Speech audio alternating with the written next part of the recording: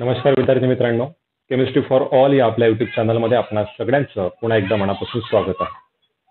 मित्रांनो आपण solid state शिकत आहोत.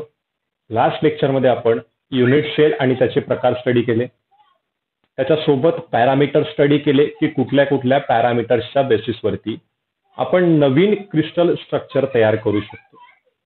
ते पॅरामीटर सुद्धा तुम्हाला सगळ्यांना माहिती आहेत. तीन एज लेंथ आणि तीन इंटरएक्सियल अँगल एज लेंथला आपण ए बी आणि सी. ए बी आणि सी असं नाव दिलं होतं. अँगलला आपण अल्फा बीटा आणि गॅमा अशा पद्धतीने नाव दिले होते. हे जे सहा पॅरामीटर्स आपल्याकडे आहेत या सहा पॅरामीटर्सला जसं जसं आपण व्हॅरी करतो चेंज करतो त्याच्यामध्ये चेंजेस करण्याचा प्रयत्न करतो तसं तसं आपल्याकडे एक नवीन प्रकारचं स्ट्रक्चर तयार होतं. नवीन प्रकारची सिस्टीम तयार होते. And that system is known as crystal system crystal system मित्रांनो कशी तयार होते? हे जे सहा पॅरामीटर्स आपल्याकडे आहेत या पॅरामीटर्समध्ये आपण चेंज करतो. त्यांचे आपण अल्फा बीटा गॅमा हे जे तीन अँगल आहेत ए बी आणि सी हे जे तीन what we can say axis आहेत. याच्यामध्ये आपण थोडे थोडे व्हेरिएशन्स करतो आणि त्याच्यानुसार आपल्याकडे एक नवीन प्रकारची क्रिस्टल सिस्टीम तयार होते. आणि या टॉपिकवरती मॅक्झिमम क्वेश्चन्स आपल्याला पेपरमध्ये विचारल्या जातात. मग ते बोर्डच्या एक्झाममध्ये असो सीईटीच्या एक्झाममध्ये असो जेईच्या एक्झाममध्ये असो किंवा नीटच्या एक्झाममध्ये असो. म्हणून हा आपला अत्यंत महत्त्वाचा टॉपिक आहे जो टॉपिक आपल्याला डिस्कस करणं अनिवार्य आहे आणि तो या लेक्चरमध्ये आपण डिस्कस करणार आहे. फार महत्त्वाचा टॉपिक आहे. मॅक्झिमम क्वेश्चन्स आपण आधी टॉपिक शिकूया आणि टॉपिक होता बरोबर आपण आपले क्वेश्चन्स बनतात का आपण ते सुद्धा पाहूया. आपल्याला क्वेश्चन्स सॉल्व्ह करता येतात का ते सुद्धा पाहूया. त्यामुळे लेक्चर शेवटपर्यंत पाहणं आवश्यक आहे. लास्ट पॉइंट पर्यंत आपण या लेक्चरमध्ये जाऊया. कारण ह्या गोष्टी फार महत्त्वाच्या आहेत. त्याच्यामध्ये लक्षात ठेवण्यासारखा पार्ट फार मोठा आहे. त्यामुळे आपण एक ट्रिक तुम्हाला सांगणार आहे. आणि तीच ट्रिक मला असं वाटतं माझ्या पद्धतीनं सगळ्यात बेस्ट ट्रिक आहे. मला तरी ती बेस्ट वाटते. त्यामुळे मी तुम्हाला सुद्धा तीच सजेस्ट करेल. आणि त्याच ट्रिकच्या बेसिसवरती ह्या सगळ्या प्रकारच्या क्रिस्टल सिस्टीम आपल्याला स्टडी करायच्या. So before starting there are seven types of crystal system या सहा पॅरामीटरचं व्हेरिएशन्स करून आपण सात प्रकारच्या क्रिस्टल सिस्टीम तयार करू शकतो. त्याच्यासोबत आपण काही लास्ट लेक्चरमध्ये युनिटचे टाइप्स पाहिले होते. प्रिमेटिव्ह बॉडी सेंटर्ड त्याच्यानंतर फेस सेंटर्ड आणि त्याच्यानंतर एंड सेंटर्ड किंवा बेस सेंटर्ड हे जे चार टाइप्स आपण पाहिले होते त्या चार टाइप्सला आपण या सात क्रिस्टल सिस्टीममध्ये जर समजा ऍड केलं तर त्याच्यामध्ये आणखी प्रकारचे काही स्ट्रक्चर्स आपल्याकडे तयार होतात. त्यांना आपण ब्रावेज लॅटिस असं म्हणतो आणि टोटल चौदा प्रकारचे ते स्ट्रक्चर असतं. दोन गोष्टी आपण काय पाहिल्या? क्रिस्टल सिस्टीम असते बेटा सात प्रकारची. कशी तयार होते? या सहा पॅरामीटर्समध्ये आपण चेंजेस घडवतो आणि त्याच्यानंतर आपले नवीन क्रिस्टल सिस्टीम आपली तयार होते आणि टोटल सात प्रकार त्याचे आहेत. ब्रावेज लॅटिस किती प्रकारचे असतात बेटा? There are fourteen types of Bravais lattice मग आता हे कसे तयार होतात रे? आपण काही प्रकार इकडे शिकलो बेटा. कुठले कुठले प्रकार आपण शिकलोय? Let say simple cubic then body centred then face centred and then last one is that is end centred हे जे चार प्रकार आहेत या चारही प्रकारांना आपण या सात प्रकारच्या क्रिस्टल सिस्टीममध्ये ऍड करू शकतो. आणि त्याच्यानंतर आपल्याकडे हे जे नवीन प्रकार आहेत चौदा ते आपल्याकडे ऍड होतात. मग प्रश्न असा आहे की लक्षात कसे ठेवायचे? हे जे चौदा प्रकार आहेत ते अत्यंत महत्त्वाचे आहेत. ज्याच्यावरती जास्तीत जास्त प्रकारचे प्रश्न विचारतात. त्यामुळे आपण सुरुवात करूया आणि कशा पद्धतीनं हे आपण लक्षात ठेवायचं या गोष्टीवरती आपला जास्त फोकस या लेक्चरमध्ये असणार आहे. सुरुवात करूया. मित्रांनो आपण सांगितलं क्रिस्टल सिस्टीम असते आपल्याकडे सात प्रकारची. सात प्रकारची क्रिस्टल सिस्टीम असते. Five six and seven there are seven types of crystal system आपण सात प्रकार लिहून घेऊया. सातही प्रकार लक्षात ठेवण्यासाठी आपल्याकडे ट्रिक आहे. ती ट्रिक आपण इथं लिहून घेऊया कुठंतरी. ओके इथं लिहून घेऊ आपण ती ट्रिक ठीक आहे. प्री काय बेटा आपल्याकडे? C R T H O M T C R T H O M T बस एवढं तुम्हाला फक्त लर्न करायचं. C R T H O M T C R T H O M T एवढं जर तुम्ही लर्न केलं तर हा पूर्णचा पूर्ण टेबल तुम्हाला लर्न करणं कठीण जाणार नाही. लक्षात ठेवणं तुम्हाला सोपं जाईल. आणि या टेबलवरती मॅक्झिमम क्वेश्चन्स विचारल्या जातात. त्यामुळे हे सात वर्ड तुम्ही काही लक्षात ठेवणं तुमच्यासाठी कठीण गोष्ट नाही आहे. तेवढं तर आपण नक्कीच करू शकतो. मग आता याच्यामध्ये सी स्टँड फॉर क्युबिक पहिल्या प्रकारची सिस्टीम आहे बेटा आपल्याकडे क्युबिक ज्याच्याबद्दल आपण शिकलोय. पहिली सिस्टीम आपण क्युबिक सिस्टीम पाहिली होती. डिटेलमध्ये आपण त्याच्याबद्दल पाहिलं. तिन्ही एज लेंथ आहेत सारख्या असतात. तिन्ही बॉन्ड एंगल सारखे असतात आणि विशेषतः नव्वद डिग्रीचे ते असतात नाईन्टी डिग्रीचे असतात. आपण ते पाहणारच आहे. त्याच्यानंतर R stand for rhombohedral rhombohedral ठीक आहे वन बाय वन आपण याच्यामध्ये पाहणार आहे. Then T stand for tetragonal tetragonal then H stand for hexagonal. hexagonal. After that o stand for orthorhombic okay orthorhombic m stand for monoclinic and last one is t stand for t stand for triclinic triclinic ह्या आहेत बेटा सात प्रकारच्या आपल्या crystal system C stand for cubic system R stand for rhombohedral T stand for tetragonal H stand for hexagonal O stand for orthorhombic M stand for monoclinic and then last one is triclinic C R T H O M T अशा पद्धतीनं तुम्हाला या system सगळ्या लक्षात ठेवायच्या. त्याच्यानंतर number लागतो बेटा तो म्हणजे आपल्याकडे ऍक्सेस कशा प्रकारची आहे. एक्सिस कुठले असतात तुम्हाला माहीत आहे? ए बी आणि सी ज्याला एक्सिस आपण म्हणतो. ठीक आहे? ह्या ज्या एज लेंथ आहेत किंवा एक्सिस आहे याच्यासाठी सुद्धा आपल्याकडे एक शॉर्ट ट्रिक आहे. बघा क्युबिकमध्ये ए बी आणि सी हे तिघही सारखे असतात. Okay are you getting my point cubic crystal सिस्टीममध्ये तीनही एजलेंट ज्या असतात बेटा त्या सेम असतात. रोम्बोहायड्रलमध्ये सुद्धा ए बी आणि सी ह्या सेम असतात. ओके क्युबिकमध्ये तीनही सेम रोम्बोहायड्रलमध्ये तीनही सेम टेट्रागोनल आणि हेक्झॅगोनल या दोघांमध्ये दोन बाजू सारख्या असतात दोन बाजू सारख्या असतात आणि जी तिसरी आहे हे इज नॉट इक्वल टू ही तिसरी वेगळी आहे. दोन बाजू सारख्या आहेत बेटा तिसरी बाजू जी आहे ती वेगळी आहे. दोन बाजू सारख्या आहेत तिसरी जी आहे ती वेगळी आहे. आणि त्याच्यानंतरच्या ज्या खालच्या तीनही आहेत याच्यामध्ये डायरेक्टली नॉट इक्वल तिन्हीचे तिन्ही सारखे नाहीत. ए बी सारखा नाही. बी सी सारखा नाही. A is not equal to B is not equal to C A is not equal to B and not equal to trick लक्षात घ्या. ट्रिक काय बेटा याच्यामध्ये? ट्रिक लक्षात घ्या. पहिल्यांदा दोन जे आहेत ते दोन जे आहेत ते कसे आहेत बेटा? पहिले जे दोन आहेत ते त्याच्यामध्ये तिन्हीच्या तिन्ही एक्सिस जे आहेत ते सारखे आहेत. दुसरे जे दोन आपल्याकडे आहेत त्याच्यामध्ये दोन बाजू सारख्या आहेत आणि तिसरी बाजू वेगळी आहे. त्याच्यानंतरचे जे खालचे तीन आहेत याच्यामध्ये तिन्हीच्या तीनही बाजू डिफरंट आहेत. क्युबिकसाठी अशा प्रकारची कंडिशन रोम्बोहायड्रलसाठी अशा पद्धतीची कंडिशन सातही प्रकारच्या क्रिस्टल सिस्टीमसाठी कशा पद्धतीचे एक्सिस किंवा एज लेंथ असू शकतात ते आपण इकडे डिस्कस केले. जर समजा तुमच्याकडे तीनही प्रकारच्या ज्या एज लेंथ आहेत त्या सारख्या असतील तर तुमच्याकडे ज्या प्रकारची युनिट सेल तयार होणार आहे क्रिस्टल सिस्टीम तयार होणार आहे त्याला आपण क्रिस्ट क्युबिक क्रिस्टल सिस्टीम असं म्हणणार.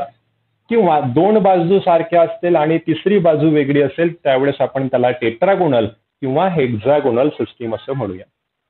तर हे आपलं बेसिक फक्त एक्सिस वरती आपण थोडंसं डिस्कशन केलं. याच्या पुढचा आपला जो पार्ट आहे लक्षात ठेवण्यासारखा तो आहे बेटा as that is angle inter axial angle असं त्यांना म्हणतात. आपण लिहून घेऊ. इंटर एक्झियल अँगल म्हणजे काय रे? काहीच नाही. अल्फा बीटा आणि गॅमा. हे जे तीन आपले अँगल आहेत यांना आपण इंटर एक्झियल अँगल असं म्हणतो. ठीक आहे? चला आपण अँगल समजून घेण्याचा प्रयत्न करूया बेटा. काय आहे आपल्याकडे? क्युबिक सिस्टीमसाठी एक गोष्ट महत्त्वपूर्ण आहे की ही सगळ्यात सिमेट्रिकल याच्यामध्ये सगळ्यात जास्त प्रकारची समानता आहे. सगळे इक्वल असते. बघा ना ए बी आणि सी तिन्ही सुद्धा बाजू ज्या आहेत त्या इक्वल आहेत. आणि alpha is equal to beta is equal to gamma आणि ते असतात बेटा नाईन्टी डिग्रीचे काय सांगितलं बेटा आपण? अल्फा बीटा आणि गॅमा हे तिन्हीचे तिने इंटर एक्झियल अँगल जे आहेत ते नाईन्टी डिग्रीचे असतात. बघा ना एक्सिस सुद्धा सेम आहेत अँगल सुद्धा सेम आहेत. ही जी सिस्टीम आहे त्या सिस्टीमला आपण क्युबिक सिस्टीम असं म्हणतो.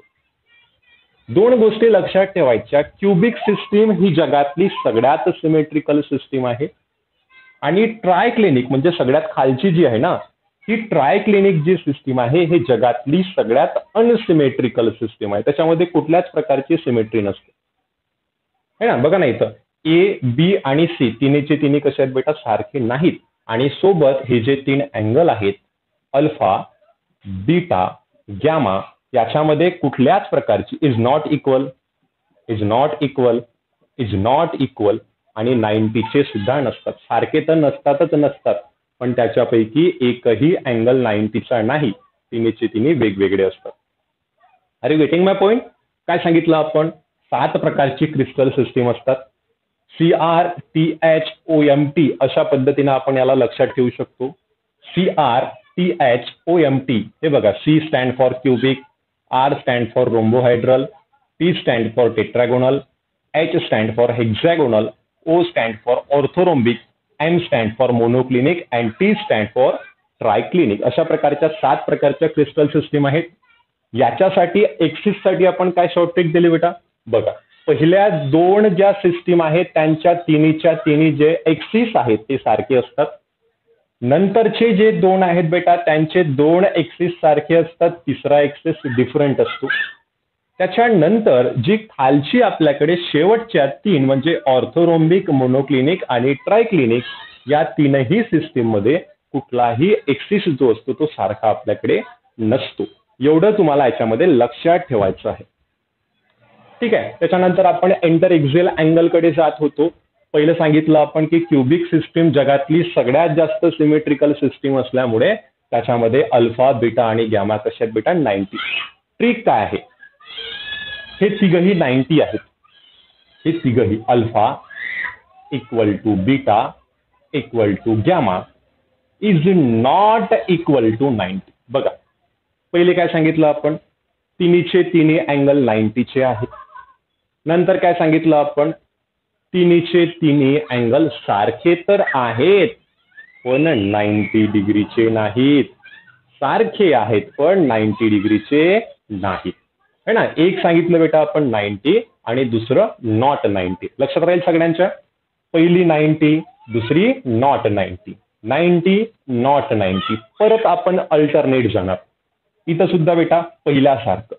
अल्फा बीटा गॅमा हे तिघं कसे आहेत बेटा? Ninety.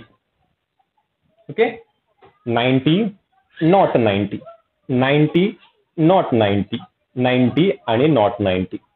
अशा प्रकारचं आपण याच्यामध्ये लक्षात ठेवू शकतो. अल्टरनेट एक नाईन्टीचा एक नॉट नाईन्टीचा.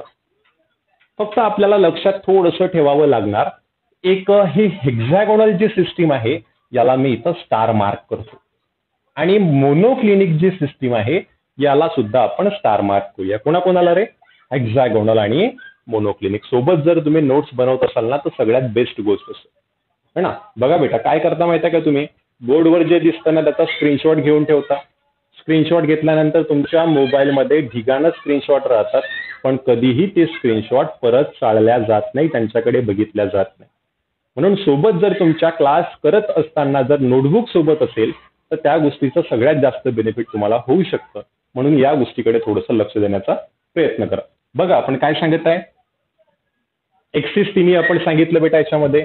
दोन पहिले सारखे दोन बाजू सारख्या तिसरी वेगळी आणि याच्यामध्ये कसलीच समानता नाही.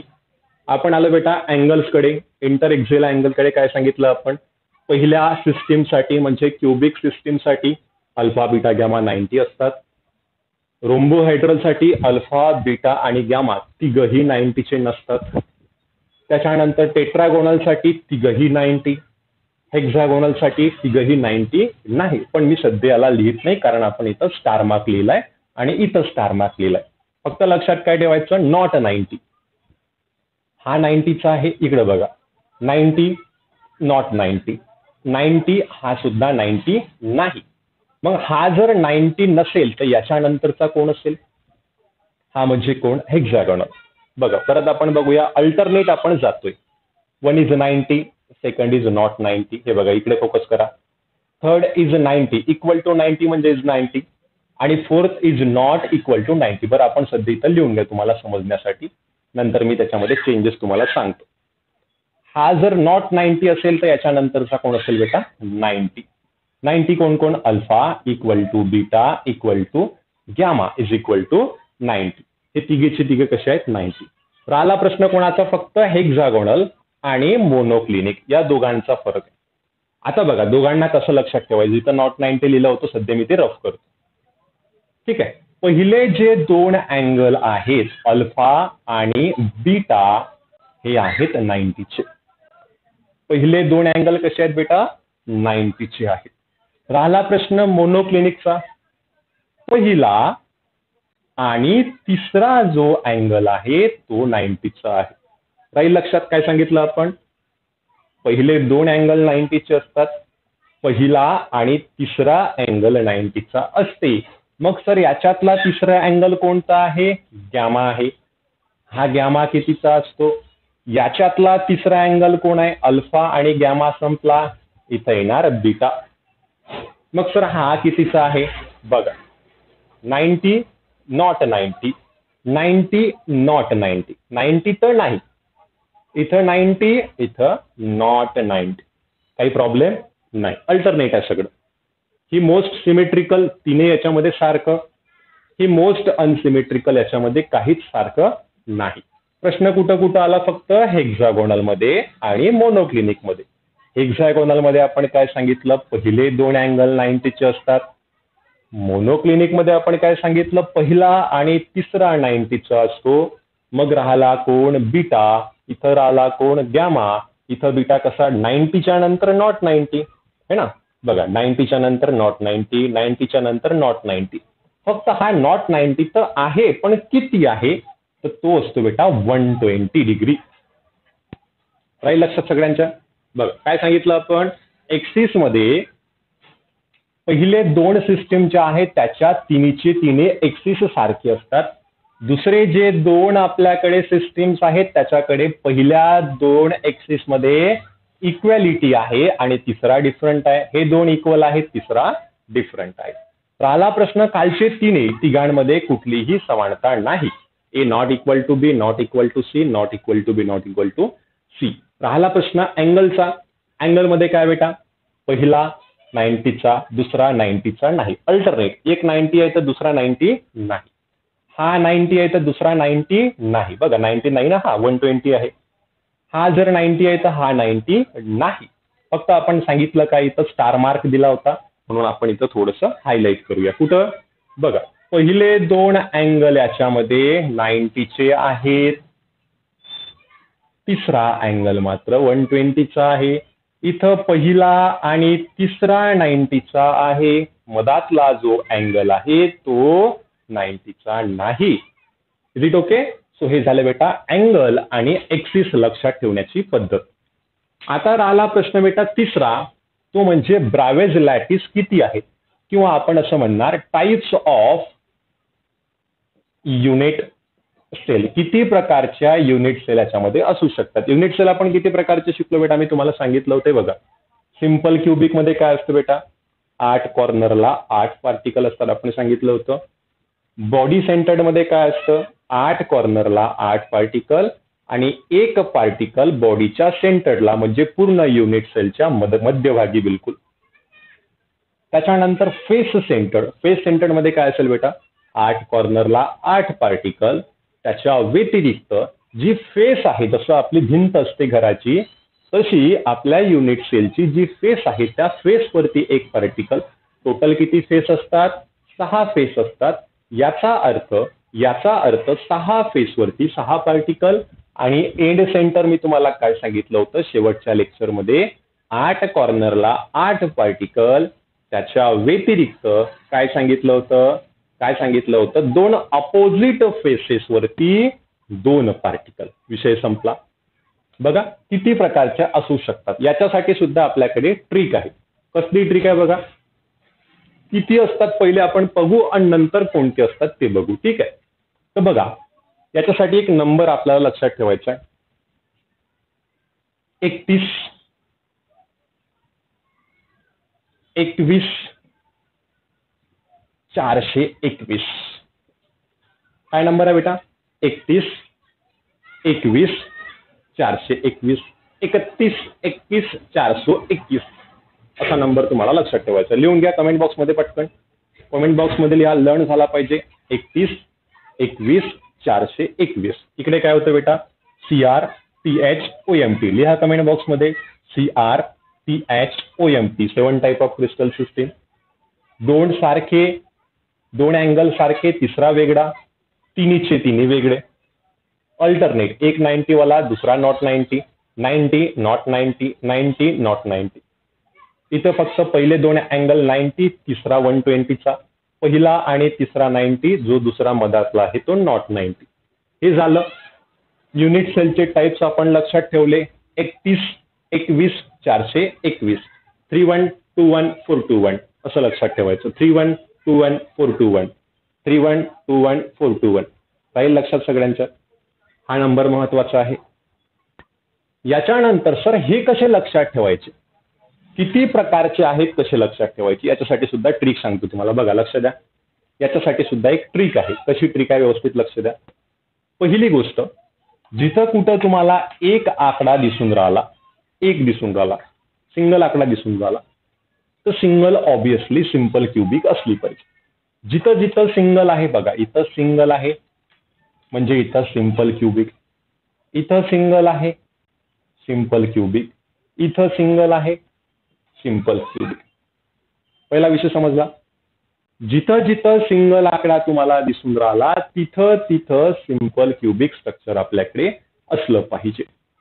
जिथं दोन आकडे दिसून राहिले इथं दोन दिसत आहे आणि इथं दोन दिसत आहे या दोन ठिकाणी कसं लक्षात ठेवायचं? दोन आहेत म्हणजे त्याच्यापैकी पहिला सिंपल क्युबिक असला पाहिजे. दोन आहेत म्हणजे त्याच्यापैकी पहिला सिंपल क्युबिक असला पाहिजे. मग दुसरा कुठला? दुसरा कुठला? दुसरा कुठला? पहिल्यामध्ये बॉडी सेंटर्ड आणि दुसऱ्यामध्ये एंड सेंटर्ड जिथं दोन लिहिलेले आहेत तिथं पहिल्यामध्ये बॉडी सेंटर्ड आणि दुसऱ्यामध्ये एंड सेंटर्ड राहील लक्षात? जिथं जिथं दोन दिसत आहेत तिथं पहिल्यामध्ये सिंपल क्युबिकच्या व्यतिरिक्त बॉडी सेंटर्ड आणि दुसऱ्यामध्ये सिंपल क्युबिकच्या व्यतिरिक्त एंड सेंटर्ड सिंगल जर असेल तर आपण काय सांगितलं बेटा? सिंगल आपल्याकडे प्रेझेंट असेल तर सिंपल क्युबिक सिंपल क्युबिक आणि सिंपल क्युबिक मग राहिला प्रश्न आता तीन आहेत. तिथे बेटा तीन. तर पहिले तीन लिहून टाकायचे. सिंपल क्युबिक पण याच्यामध्ये असणार बॉडी सेंटर्ड पण याच्यामध्ये असणार आणि फेस सेंटर्ड पण याच्यामध्ये असणार. काय काय असणार? सिंपल क्युबिक पण असणार बॉडी सेंटर्ड पण असणार फेस सेंटर्ड पण असणार. तिन्हीचे तिन्ही प्रेझेंट असतील. सिंपल क्युबिक बॉडी सेंटर्ड आणि फेस सेंटर्ड राहिला प्रश्न जिथं चार आहेत तिथं. ऑब्विसली चार आहेत. म्हणजे हे चारीच्या चारी प्रकारच्या सिस्टीम त्याच्यामध्ये प्रेझेंट असल्या पाहिजे. सिंपल क्युबिक असलं पाहिजे. त्याच्यानंतर बॉडी सेंटर्ड असलं पाहिजे. त्याच्यानंतर फेस सेंटर्ड असलं पाहिजे. त्याच्यानंतर एंड सेंटर्ड असलं पाहिजे. म्हणजे चारही प्रकारच्या सिस्टीम त्याच्याकडे प्रेझेंट असल्या पाहिजेत. Are you getting my point single आहे. एक एक आहे जिथं जिथं प्रेझेंट तिथं जिथं बेटा आपली सिंपल क्युबिक असली पाहिजे. जिथं दोन प्रेझेंट दिसतात. इथं एक दोन प्रेझेंट दिसतात आणि इथं दोन प्रेझेंट दिसतात. दोन आहेत म्हणजे एक त्याच्यामध्ये सिंपल क्युबिक ऑब्विसली असली पाहिजे. एवढंच नाही तर प्रत्येक ठिकाणी सिंपल क्युबिक लिहूनच टाकायची प्रत्येक ठिकाणी. सिंपल क्युबिक प्रत्येक ठिकाणी आहे. इथं दोन आहेत सिंपल क्युबिकच्या व्यतिरिक्त कोण असेल? सेकंड वाली आणि फोर्थ वाली. पहिल्यांदा बेटा आपण बॉडी सेंटर्ड लिहिणार आणि दुसऱ्यांदा आपण एंड सेंटर्ड लिहिणार. विषय संपला. याच्यानंतर राहिले तीन. तीन आहेत म्हणजे सिंपल बॉडी आणि फेस सुरुवातीचे तीन आणि चार आहेत म्हणजे सगळेचे सगळे. काही कठीण आहे का? नाही. कठीण काय आहे? C R T H O M T लिहा कमेंट बॉक्समध्ये लर्न झालं पाहिजे आजच्या आज. C R T H O M T okay त्याच्यानंतर काय बेटा? Three one two one four two one हे पण तुमचं लर्न झालं पाहिजे. है ना किती प्रकारचे युनिट सेल असतात? Three one two one four two one आता बघा याच्यामध्ये किती प्रकारचे टोटल तुम्हाला युनिट सेल दिसून राहिले. इथं तीन आहेत बेटा. चार सहा सात चार अकरा आणि हे तीन. टोटल किती झाले बेटा? चौदा. टोटल किती झाले? चौदा. So there are fourteen types of Bravais lattice Bravais lattice total किती प्रकारचे आहेत बेटा? फोर्टीन क्रिस्टल सिस्टीम किती प्रकारचे आहेत? सहा सात प्रकारच्या. दिल्लीला आपण हे बघायचं सेवन टाईपच्या क्रिस्टल सिस्टीम आहेत. त्याच्यामध्ये आपल्याला पॅरामीटर चेंज करावे लागतात. पॅरामीटर चेंज केलं म्हणजे नवीन प्रकारची क्रिस्टल सिस्टीम तयार होते. पॅरामीटर कोणते कोणते आहेत आपण ते हे बेटा पॉसिबल कॉम्बिनेशन्स आहेत. है ना? पॉसिबल अरेंजमेंट आहे. आणि ब्रॅवेज लॅटिस तयार करण्यासाठी या सात प्रकारच्या क्रिस्टल सिस्टीममध्ये पार्टिकल कुठं कुठं प्रेझेंट असू शकतात? कॉर्नरला असतील का? सिंपल क्युबिक कॉर्नरच्या व्यतिरिक्त बॉडीच्या सेंटरला असेल का? बेस आपण काय सांगितलं? बॉडी सेंटर कॉर्नरच्या व्यतिरिक्त फेसवरती असतील का? फेस सेंटर कॉर्नरच्या व्यतिरिक्त फक्त दोन अपोजिट फेसवरती असतील का? फेस सेंटर है ना? एंड सेंटर असे चार प्रकारचे crystal system simple cubic body centred face centred आणि last one is end centre असे चार प्रकारचे क्रिस्टल त्याच्यामध्ये युनिट सेल असतात. तर टोटल आपल्याकडे ब्रावेज लॅटिस किती झाले बेटा? फोर्टीन आणि टोटल क्रिस्टल सिस्टीम किती आहे सेवन सर तुम्ही म्हणणार याच्यामध्ये एवढं डिटेलमध्ये आपण का पाहिलं? कारण याच्यावरती प्रश्न सुद्धा तेवढ्याच डिटेलमध्ये येतात. है ना? थोडस दिसत नसेल तुम्हाला याच्यामध्ये. है ना? बघून घ्या आता दिसेल कदाचित. ठीक आहे. दिसत आहे सगळ्यांना? हा.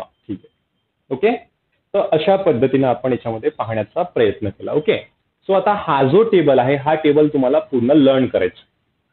आणि या टेबलवर कशा कशा पद्धतीचे प्रश्न विचारल्या जाऊ शकतात ते क्वेश्चन्स आपण पाहणार आहे. मग तुमच्या स्टेट बोर्डमध्ये असो तुमच्या सीईटी मध्ये असो का तुमच्या what we can say that नीट जे डबलमध्ये असो. काही बेसिक क्वेश्चन्स आपण पाहूया आणि त्याच्यानंतर थोडंसं ॲडव्हान्समध्ये नंतर जाऊया. तुम्हाला विचारला जाऊ शकतो पहिला प्रश्न टोटल क्रिस्टल सिस्टीम किती आहे? किती दिसून राहिला बेटा total crystal system C R T H O M T so there are seven types of crystal system पहिल्या प्रश्नाचं उत्तर आपण काढलं. सेकंड क्वेश्चन आहे बेटा टोटल ब्रावेज लॅटिस किती ब्रावेज लॅटिस टोटल आपल्याकडे आहेत सिंपल क्वेश्चन्स आहेत. ब्रावेज लॅटिस किती असतात बेटा? Fourteen three one two one four two one okay then after that most symmetrical crystal system याच्यामधली सगळ्यात जास्त सिमेट्रिकल क्रिस्टल सिस्टीम कोणती आहे? आपण काय सांगितलं? ज्याच्यामध्ये सगळ्याच गोष्टी सारख्या बघा ना. ईबीसी सुद्धा सारखं अल्फाबीटा गॅमा सुद्धा सारखं आणि विशेषतः नाईन्टी डिग्री म्हणून आपण क्युबिक सिस्टीमला मोस्ट सिमेट्रिकल क्रिस्टल सिस्टीम असं म्हणतो. काय आन्सर असेल मग आपलं मोस्ट क्रिस्टल सिस्टीमचं या कमेंट बॉक्समध्ये दी मोस्ट क्रिस्टल सिस्टीम कोणती आहे बेटा? Cubic crystal system is the most symmetrical crystal system next question आहे. आता सिमेट्रिकल जर विचारलं तर ऑब्विसली याच्यापैकी अनसिमेट्रिकल कुठली आहे ते सुद्धा विचारले पाहिजे. आपण काय सांगितलं? सुरुवातीला टेबल बनवायच्या आधी क्युबिक सिस्टीम सगळ्यात जास्त सिमेट्रिकल आहे. त्याच्यामुळे सगळ्यात खालची जी ट्राय क्लिनिक आहे ही ट्राय क्लिनिक क्रिस्टल सिस्टीम. बघा ना काहीच इथं सिमिलर नाही आहे not equal not equal not equal and not equal nothing is symmetrical काही सिमेट्री त्याच्यामध्ये नाहीये. कुठलीच सिमेट्री त्याच्यामध्ये प्रेझेंट नाही. त्याच्यामुळे सगळं काही अनसिमेट्रिकल आहे. So we can say that the triclinic crystal system is most unsymmetrical crystal system लिहा पटकन कमेंट बॉक्समध्ये काय लिहिणार आपण? सगळ्यात अनसिमेट्रिकल क्रिस्टल सिस्टीम कोणती आहे बेटा? Most unsymmetrical crystal system is triclinic most symmetrical crystal system is cubic okay then next question is crystal system having maximum number of unit cell. Crystal system having maximum number of unit cell. Maximum number अशी कुठली crystal system आहे? की त्याच्यामध्ये सगळ्यात जास्त number of आपल्याला unit cell सापडतात. इकडे थ्री आहेत बेटा वन आहे टू आहे वन आहे फोर मॅक्झिमम कशामध्ये प्रेझेंट आहे बेटा? रोम्बो हायड्रल सो अँसर काय असायला पाहिजे?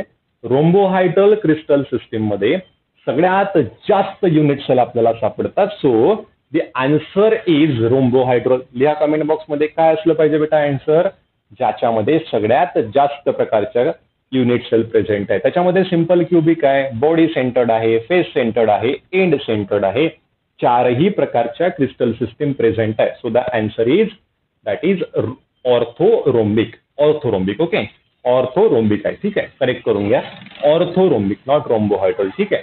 ऑर्थोरोम्बिक या सिस्टीममध्ये चार युनिट सेल प्रेझेंट असतात. सो सगळ्याच्या सगळ्या युनिट सेल त्याच्यामध्ये सिंपल क्युबिक असेल बॉडी सेंटर्ड असेल फेस सेंटर्ड असेल. And last one is end centred असेल. या एंड सेंटर्डला कधी कधी बेस सेंटर्ड असं सुद्धा नाव देण्यात येते. एंड सेंटरला कधी कधी बेस सेंटर्ड बी एस असं सुद्धा म्हणतात.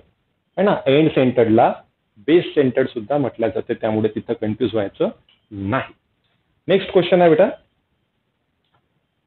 Geometry of match box match box माहिती आहे सगळ्यांना? है ना? हा ठीक आहे. मॅच बॉक्समध्ये किती प्रकारच्या किंवा कुठल्या प्रकारची क्रिस्टल सिस्टीम आपल्याकडे प्रेझेंट असते. मॅच बॉक्स सगळ्यांना समजतो? माचीस आहे ना? तर माचीसचा डब्बा जो दिसतो आपल्याला तो कुठल्या शेपचा असतो? बघून घ्यायचं ऑब्झर्व करायचं याचा आन्सर तुम्हीच मला सांगायचं आहे ना? बघा त्याचा एक कुठलाही कॉर्नर पकडायचा. त्या कॉर्नरपासून जाणाऱ्या तीन रेषा काढायच्या. काय सांगितलं बेटा मी? मॅच बॉक्सचा एक कॉर्नर पकडायचा. त्या कॉर्नरपासून जाणाऱ्या समजा हा कॉर्नर आपण पकडला या कॉर्नरपासून जाणाऱ्या तीन रेषा पाहायच्या. ही पहिली असेल ही दुसरी असेल ही तिसरी असेल. एम आय राईट बघा पहिली दुसरी आणि तिसरी. तिघचे तिघ कसे बेटा? अनइक्वल आहेत. आणि हा कसा दिसते नाईन्टीचा हा कसा दिसते नाईन्टीचा हा कसा दिसते नाईन्टीचा तिन्हीचे तिन्ही अँगल जे आहेत ते नाईन्टी डिग्रीचे आहेत. आणि तिन्हीच्या तिन्ही एज लेंथ अनइक्वल आहेत. बघा कुठं दिसते हे बघा ए बी आणि सी वेगवेगळं आहे. अल्फा बीटा आणि गॅमा नाईन्टी आहे. समजलं नसेल तर माचीस सोबत घेऊन बसायचं त्याचे अँगल काढत बसायची डायग्राम काढण्याचा प्रयत्न करायचा. कशा प्रकारचे अँगल्स आपल्याकडे असतील चेक करायचं. ओके सो ते सुद्धा आपल्याकडे आन्सर असेल बेटा. काय असेल? एस ऑर्थो रोम्बिक बघा तिघचे तिघं अनइक्वल आहेत आणि तिन्हीचे तिन्ही अँगल कसे आहेत? नाईन्टी डिग्रीचे आहे. सो हा सुद्धा प्रश्न याच्यामध्ये आपल्याला विचारला जाऊ शकतो. तर हे सिंपल सिंपल काही प्रश्न याच्यामध्ये विचारला जाऊ शकतात. सो आपण थोडंसं आता ॲडव्हान्स लेवलकडे जाण्याचा प्रयत्न करूया. की आणखी तर स्क्रीनशॉट घेऊन घ्या हवं तर तो तुमच्यासाठी खूप कामाची गोष्ट असेल.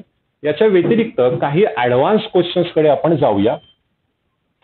जे की सीईटी सारख्या लेवलमध्ये जे डबल सारख्या लेवलमध्ये विचारल्या जाऊ शकतात. काही बेसिक क्वेश्चन आपण पाहणार आहे. फार काही कॉम्प्लेक्सकडे जाणार नाही. कारण काही प्रश्न एक्झाममध्ये सोपे सुद्धा विचारल्या जातात. ओके तर आपण ते क्वेश्चन्स पाहूया. आपण आतापर्यंत शिकवलेल्या टॉपिकवरती किती प्रश्न विचारल्या जातात. Okay so the first question is पहिला क्वेश्चन आहे बेटा आपल्याकडे. Okay the smallest repeating structural unit of a crystalline solid. Question प्रॅक्टिससाठी आहे फक्त ठीक आहे. ती स्मॉलेस्ट छोटं रिपीटिंग कंटिन्यू रिपीट होते. है ना? Structural unit of a crystalline solid crystalline solid कशापासून बनलेलं असते? आपल्याला माहिती आहे कशापासून बनलेलं असतं बेटा? युनिट सेलपासून आपण सुरुवातीलाच सांगितलं होतं पहिल्याच लेक्चरमध्ये सेकंड लेक्चरमध्ये युनिट सेलचा अर्थ काय होतं रे? Smallest repeating unit is nothing but unit cell so पहिला प्रश्न आपल्याला काही याच्यामध्ये कठीण जाणार नाही. सेकंड क्वेश्चन आहे बेटा. In primitive unit cell the constituent particles are present at primitive unit cell म्हणजे कोणती? तुम्ही सुद्धा आन्सर देण्याचा प्रयत्न करू शकता. प्रिमेटिव्ह युनिट सेललाच आपण काय म्हणतो बेटा? सिंपल युनिट सेल है ना? आणि सिम्पलची डायग्राम आपण तुम्हाला काढून दाखवली होती जेव्हा आपण क्युबिक शिकवलं तेव्हा. है ना? कुठं कुठं पार्टिकल प्रेझेंट असतात बेटा? बघा असं स्ट्रक्चर आपण काढलं होतं. प्रत्येक कॉर्नरला आपण इथं पार्टिकल काढून दाखवलं होतं. है ना? सो आपला आन्सर काय असलं पाहिजे याच्यामध्ये? ऑप्शन नंबर ती कॉर्नर्स ऑनली फक्त कुठं प्रेझेंट असतात बेटा? प्रिमिटिव्ह याला सिम्पललाच आपण काय म्हणतो? प्रिमिटिव्ह असं म्हणतो. म्हणजे प्रिमिटिव्हमध्ये पार्टिकल फक्त कॉर्नरला प्रेझेंट असतात असं त्याच्यामध्ये आपल्याला सांगावं लागेल. Next question is fourteen Bravais lattices are divided into dot dot crystal system चौदा प्रकारचे जे ब्रावेज लॅटिस आपण इकडे काढले होते शेवटी. Simple cubic body centred face centred आणि एंड सेंटर्ड ती किती सिस्टीममध्ये डिवाइड केल्या जातात? आपल्याला माहीत आहे किती सिस्टीम आहेत बेटा आपल्याकडे? किती सिस्टीम आहेत? सेवन क्रिस्टल सिस्टीम आहेत. कोणत्या कोणत्या? C R T H O M T C stand for cubic R stand for rhombohedral rhombohedral T stand for tetragonal है ना? एच स्टँड फॉर हेक्झागोनल हे तुम्हाला सगळं आता माहिती पाहिजे. O stand for orthorhombic then M stand for monoclinic monoclinic and last one is T stand for triclinic सगळ्यात symmetrical कोणती? क्युबिक सगळ्यात अनसिमेट्रिकल कोणती? ट्रायक्लिनिक ओके सो अशा पद्धतीनं सुद्धा तुम्हाला क्वेश्चन्स विचारल्या जाऊ शकतात. सो काय आन्सर असेल बेटा याच्यामध्ये? Seven okay so next question is there are dot dot kinds of unit cell in tetragonal crystal system tetragonal crystal सिस्टीममध्ये किती प्रकारच्या युनिट सेल प्रेझेंट असतात? कसं काढलं होतं आपण? हे बघा C R T H O M T three one two one four two one एकतीस एकतीस चारशे एकतीस. हे बघा. क्युबिकमध्ये तीन रोम्बोहायटलमध्ये एक टेट्रॅगोनलमध्ये दोन टेट्रॅगोनलमध्ये दोन. म्हणजे एवढ्याच्या बेसिसवरती आपण कुठलाही क्वेश्चन विचारला तरी त्याला सॉल्व्ह करू शकतो. सो अँसर काय असलं पाहिजे बेटा? टेट्रागोनलमध्ये विचारलं म्हणून ऑब्विसली आन्सर असलं पाहिजे टू नेक्स्ट क्वेश्चनकडे आपण जाऊया. A corner particle contributes its dot dot part to a given unit cell last लेक्चरमध्ये आपण डिटेलमध्ये पाहिलं होतं. कुठलाही पार्टिकल जर कॉर्नरला प्रेझेंट असेल तो तो टोटली आठ प्रकारच्या युनिट सेल सोबत शेअर केलेला असतो. मी उदाहरण सुद्धा तुम्हाला दिलं होतं. एका युनिट सेलच्या आतमध्ये या पार्टिकलचा किती तुकडा असेल? तर त्याच्यामध्ये आपण सांगितलं होतं वन बाय एट म्हणजे एक जर ऍपल आपण घेतलं आणि त्या ऍपलचे आठ तुकडे केले तर त्याच्यातील फक्त एकच तुकडा आपल्या युनिट सेलच्या आतमध्ये राहील. बाकीचे तुकडे याच्या आजूबाजूच्या सात युनिट सेलमध्ये वाटून घेतल्या जातील. सो आन्सर काय असलं पाहिजे बेटा? One eight option number C हे तुमचं त्याच्यामध्ये आन्सर आहे. नेक्स्ट क्वेश्चनकडे आपण जाऊया. How many total spheres of constituent particles are present in BCC type of unit cell body centred unit cell आपल्याकडे असते बेटा. बॉडी सेंटर्ड युनिट सेल असते. याच्यामध्ये टोटल किती स्पेअर प्रेझेंट असतात असं त्याचं म्हणणं आहे. आपण काय सांगतो? आठ कॉर्नरला आठ पार्टिकल प्रेझेंट असतात. आणि एक कॉर्नर आपला सेंटरला प्रेझेंट असतो. हा जो सेंटरला प्रेझेंट असणारा पार्टिकल आहे हा आपल्या युनिट सेलच्या आतमध्ये पूर्णचा पूर्ण असतो.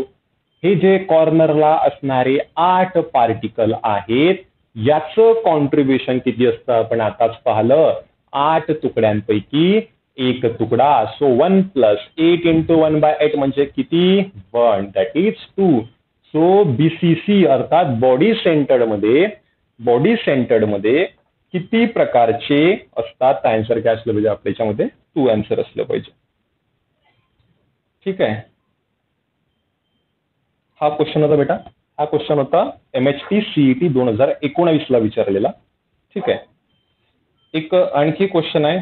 What is the difference between the number of atoms per unit cell एका युनिट सेलमध्ये प्रेझेंट असणारे atom in face centred cubic F C C मध्ये प्रेझेंट असणारे एका सेलमध्ये एका युनिट सेलमध्ये प्रेझेंट असणारे ॲटम आणि number of atoms per unit cell in body centred cubic F C C मध्ये प्रेझेंट असणारे ऍटम मधून जर आपण बीसीसी मध्ये प्रेझेंट असणाऱ्या ऍटमना मायनस केलं तर अँसर किती येते इझी क्वेश्चन आहे. एफ सी सी मध्ये किती असतात तुम्हाला माहिती आहे सगळ्यांना? काय असतं बेटा? F C C F C C सगळ्यांना माहिती आहे. बघा कुठं काढायचं? ओके इथं काढूया. ठीक आहे. बघा एफ सी सी काय असते? आठ कॉर्नरला आठ पार्टिकल त्याचं कॉन्ट्रीब्युशन किती येते one by eight one by एटचा अर्थ काय झाला बेटा? Eight into one by eight म्हणजे वन. हे सगळ्यांना माहीत आहे. इथं पण आपण काढून दाखवलं. प्लस इकडे काय प्रेझेंट असतं? सहा जे कॉर्नर आहेत. सहा जे कॉर्नर आहेत तर सहा कॉर्नरला एक एक पार्टिकल प्रेझेंट असतो. सहा कॉर्नरला एक एक पार्टिकल हा सगळ्यात मागचा आणि ही सगळ्यात पुढचा. ठीक आहे? सहा कॉर्नरला सहा कॉर्नर आहेत टोटल सहा पार्टिकल प्रेझेंट आहेत. तुमच्या युनिट सेलच्या आतमध्ये फक्त अर्धा पार्टिकल असतो. याचा अर्थ one plus six into one by two किती झालं बेटा? थ्री इक्वल टू फोर याचा अर्थ एफ सी सी मध्ये टोटल चार पार्टिकल प्रेझेंट असतात. सो काय असेल बेटा आन्सर चार मायनस बीसीसी मध्ये किती आहेत रे? आपण आताच काढले. दोन. काय असेल आन्सर दोन. याचं सुद्धा आन्सर काय असायला पाहिजे? दोन असायला पाहिजे. गुजरात सीईटी मध्ये दोन हजार चौदाच्या गुजरात सीईटी मध्ये विचारलेला प्रश्न आहे. सो अशा प्रकारचे प्रश्न सुद्धा तुम्हाला याच्यामध्ये विचारल्या जाऊ शकतात. ठीक आहे. एक क्वेश्चन आहे. बघा. कळला तर ठीक नाही कळला तर आपण नंतर बघूया त्याला. The contribution of a particle at the edge centre of a particular unit cell जर समजा एखाद्या युनिट सेलच्या एज सेंटरला पार्टिकल प्रेझेंट असेल तर त्याचं कॉन्ट्रीब्युशन किती असेल? देखो भाई समजणे का प्रयास करू. एज सेंटर समजते तुम्हाला? हे बघा हे तुमची एज आहे. ही काय आहे? एज आहे.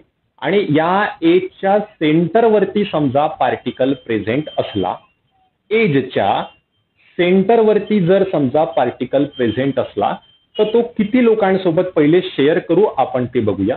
बघा या युनिट सेलच्या समोर जी युनिट सेल असेल या युनिट सेलच्या किंवा ही जी फेस आहे याच्या समोर जी युनिट सेल असेल त्याच्यासोबत शेअर केला जाईल.